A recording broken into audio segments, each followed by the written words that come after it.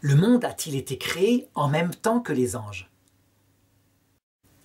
Je dirais que cette question, qui se pose légitimement, semble mélanger donc deux recherches. Une recherche scientifique qui, elle, peut véritablement se pencher par la raison toute seule sur l'origine du monde, et d'autre part une recherche vraiment théologique, parce que les anges, l'existence de ces purs esprits, c'est inaccessible à l'expérience. C'est un, article de la foi, de la révélation, qui dit que Dieu, avant de créer les hommes, a créé des êtres purement spirituels qui n'ont pas de corps, des ingénieurs de haut niveau, qui ont participé à l'organisation du monde.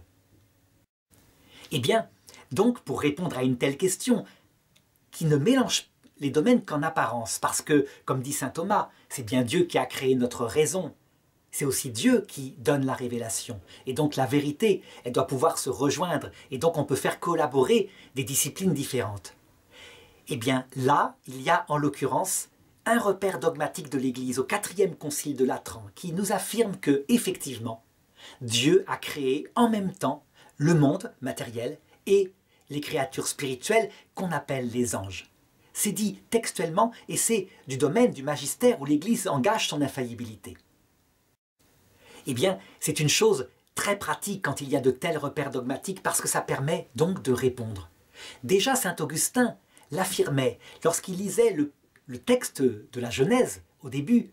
Dieu dit que la lumière soit et la lumière fut. Dieu sépara la lumière des ténèbres.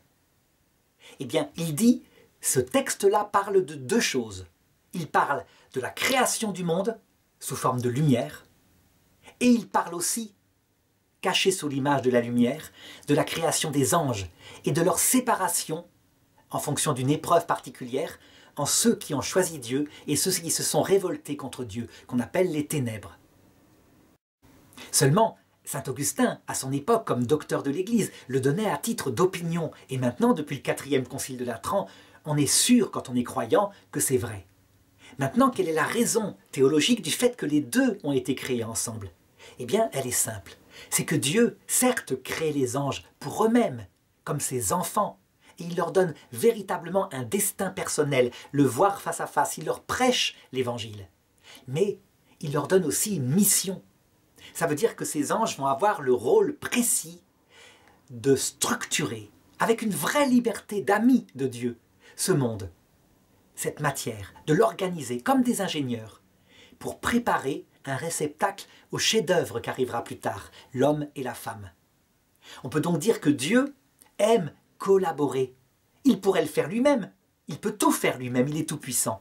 Mais ce n'est pas vrai. La nature même de Dieu, c'est le principe de subsidiarité. Ça veut dire, quand il peut déléguer, il délègue à ses amis. Et c'est aussi ce qui explique pourquoi nous, catholiques, nous aimons prier les saints et les anges, non pas parce qu'ils sont Dieu, mais parce que Dieu leur donne véritablement tout pouvoir sur son cœur.